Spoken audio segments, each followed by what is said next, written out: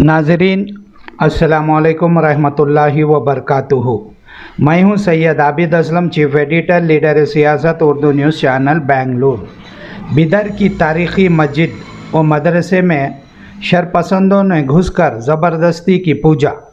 मदरसे में भी तोड़ फोड़ नौ के ख़िलाफ़ मुकदमा दर्ज, सिर्फ़ चार की गिरफ्तारी, एहतजाज वापस। दशहरे के जुलूस में शरीक, एक इंतहा पसंद हजूम ने कर्नाटक के बिदर ज़िले के एक तारीखी मोहम्मद गावा मस्जिद और मदरसे में ज़बरदस्ती घुसकर पूजा की। मस्जिद से मुंसलिक मदरसे में मुबीना तौर पर तोड़ फोड़ करते हुए नारेबाजी की गई और इमारत को एक कोने में पूजा करके माहौल ख़राब करने की मनज़म कोशिश की गई, जिसके सबब मुसलमानों में सख्त गम व गुस्सा देखा जा रहा है। मुस्लिम तंजीमों ने नमाज़ जुम्मा के बाद पुलिस की बेजाबियों के मजम्मत करते हुए एहतजाज की काल दी थी, लेकिन मुसलमानों ने सब्र ज़ब्त के साथ हालात पुरअमन बनाए रखा और चार हिंदू मुलजिमों की गिरफ्तारी के बाद उन्होंने एहतजाज वापस ले लिया। एनडीटीवी की रिपोर्ट के मुताबिक, इस दौरान पुलिस ने नौ अफराद के खिलाफ मुकदमा दर्ज कर लिया है। अभी तक सिर्फ़ चार अफराद की गिरफ्तारी अमल में आई है। तफसीलात के मुताबिक, शरपसंदों ने बिदर में वाक़ जिस मोहम्मद गावा मदरसे की निशाना बनाया, वो 1460 की दिहाई में तामीर किया गया था। आर्कियालॉजिकल सर्वे ऑफ़ इंडिया ये के ज़ैर अहतमाम है। इस इमारत को कौमी अहमियत की हामिल है। यादगारों की फहरिस्त में शामिल किया गया है। पुलिस ने बताया कि चाशुम्बे की शाम हजूम ने मदरसे का ताला तोड़ दिया। मदरसे की सीढ़ियों पर खड़े होकर पूजा करने के लिए एक कोने का रुख करने से पहले शरपसंदों ने जय श्री राम के नारे और हिंदू धर्म के जय के नारे लगाए। वायरल वीडियो में सीढ़ियों पर खड़ा एक बहुत बड़ा हजूम इमारत के अंदर जाने की कोशिश कर रहा था। बिदर में कई मुस्लिम तंजीमों ने इस वाक़े की मजम्मत की है। इस मौके पर सबक मरकज़ी वज़ीर और जनता दल पार्टी के सदर अलहसीम इब्राहिम साहब ने मीडिया से खिताब करते हुए इस ताल्लुक़ से उन्होंने एक प्रेस मीट की है, जिसको आप हमारे चैनल लीडर सियासत के ज़रिए देख सकते हैं। जैसे जैसे इलेक्शन आ रहा है, वैसे वैसा आरएसएस वाले को, बजरंग दल को खुजली शुरू हो रही उन्होंने खुजा ले रही वोटा के वास्ते।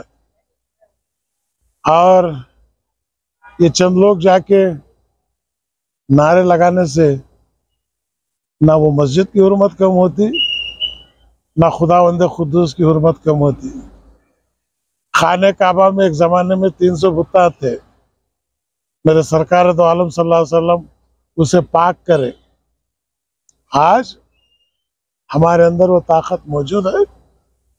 और उन लोगों को सिर्फ़ इतना ही कहता हूँ कि इस तरह से जो शरारत और बीदर जो है, बसवेश्वर की कर्म भूमि है, जहाँ बसवेश्वर चीफ मिनिस्टर थे, तमाम मज़हब वालों को एकजहती दिए, और तमाम मजहबों के लिए प्यार, मोहब्बत का दरस दिए।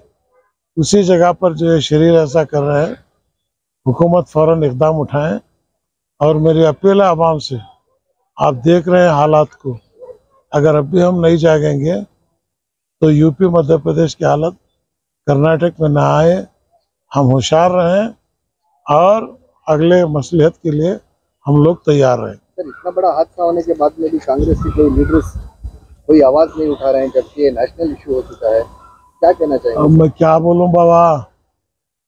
उन्होंने जनेस वालों को जसकी के दर, दर्दा मालूम हो।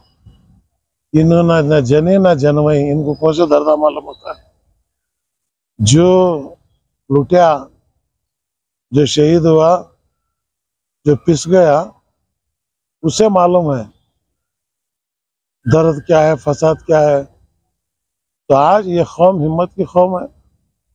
और मैं अपने पूरे लोगों को ये कहता हूँ कि हिम्मत से रहे, सिर झुकाने की ज़रूरत नहीं, सिर उठाकर ज़िंदगी बसर करें। कोई हमें साथ दे ना दे। अगर हम बराबर है तो ऊपर वाले का साथ हमारे साथ है। खुदा का खौफ रसूल सल्लल्लाहु अलैहि वसल्लम का इश्क बारहवीं का रबी अव्वल का महीना है। अज़म करें कि हम चौका चौकन्ना रहेंगे और खिदमत के लिए हमेशा तैयार रहेंगे सर शर्मनाक हरकत होने के बाद में नौजवानों में एक गुस्सा है।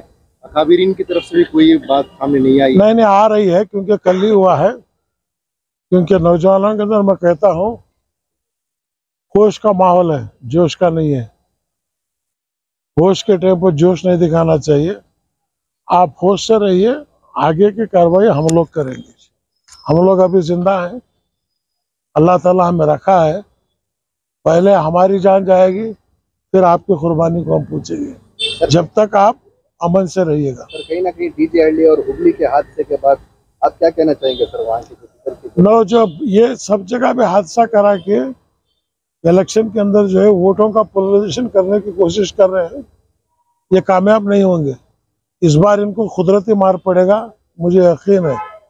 क्योंकि खुदा के घर में देर है, अंधेर नहीं है।